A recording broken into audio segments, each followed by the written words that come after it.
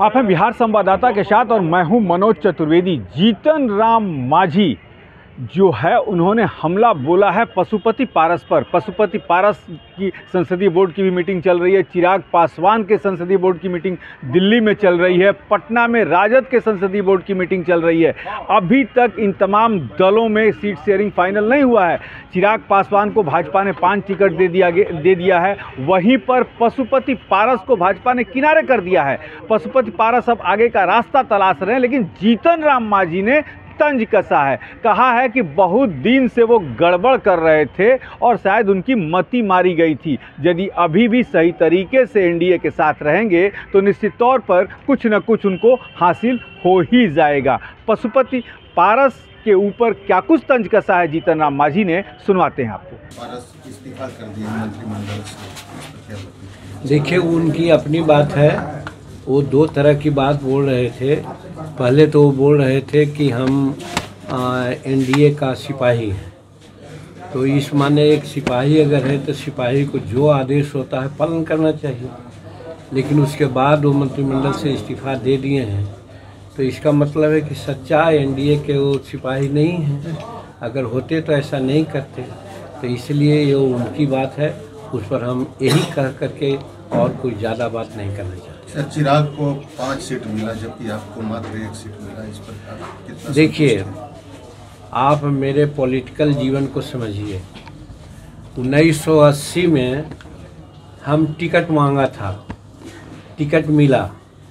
उसके बाद एकदम ईमानदारी से कहना चाहते हैं कि अस्सी के बाद न तो मैंने टिकट मांगा न तो मंत्री मंत्री पद मांगा।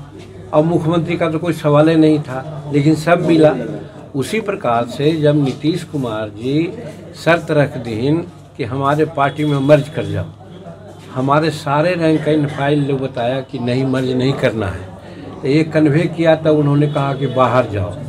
तो हम बाहर आ गए और धन्यवाद देते हैं नरेंद्र भाई मोदी जी को और अमित शाह जी को कि जैसे ही बाहर आए, दो दिन के अंदर ही हमारा बुलावा वहाँ आया और हम वहाँ गए।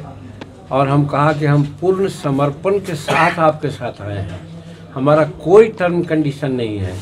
सबसे बड़ी बात यही है कि जितना अहमियत नरेंद्र भाई मोदी जी जीतन मांझी को दिए हैं, देते हैं, जो सब आप लोग जानते हैं, चाहे यूपीए की यूनिवर्सिटी एनडीए की बैठक में हमको तरजीह दिया वो रिसीव करने में उनको तरजीह दिया कि नड्डा के बाद हमारा ही नंबर था। फिर वाजपेयी जी के पुण्यतिथि पर भी किसी को नहीं बोले, हमको बोले, जीतन जी, आप भी माल्यार्पण कर लीजिए।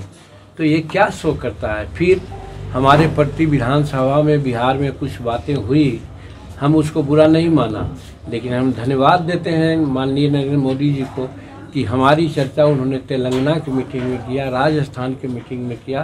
तो हम तो इसी से गदगद हैं कि नरेंद्र मोदी जी इतना हमको, जो दुनिया का सबसे लोकप्रिय नेता है, वो हमको इतना तरजीह देते हैं तो सीट तो इमेटेरियल है, लेकिन उसके बावजूद भी एक सीट उन्होंने गया कर दिया। हम इसके लिए उनको धन्यवाद देते हैं।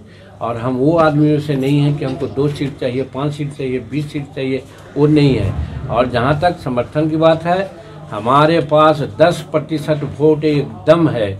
जहाँ हम चाहेंगे दस प्रतिशत वोट जाएगा।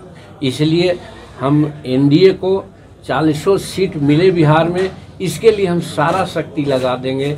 और नरेंद्र मोदी जी पुनः भारत के प्रधानमंत्री से तीसरी बार हो जाएँ और जो कह रहे हैं कि 400 सीट से ऊपर लाएँगे उसमें हम उनको तन मन धन से सहयोग करेंगे। कब नॉमिनेशन कर रहे हैं सर आप? नॉमिनेशन अब हमारे सिपा सलार तो भाई संतोष कुमार सुमन जी हैं जो राष्ट्रीय अध्यक्ष हैं। और राष्ट्रीय अध्यक्ष जिस दिन नियत करेंगे उस दिन नॉमिनेशन करेंगे। वैसे नॉमिनेशन करने के सारी प्रक्रिया के लिए हम तैयार हैं। तो सुन लिया आपने, जीतन राम मांझी ने सीधे कहा कि बहुत दिन से गड़बड़ कर रहे थे, जिसकी सजा उनको दी गई है। यदि सही तरीके से अभी भी रहेंगे तो निश्चित तौर पर कुछ न कुछ उन्हें हासिल होगा। कैमरामैन प्रेम के साथ मनोज चतुर्वेदी, पटना।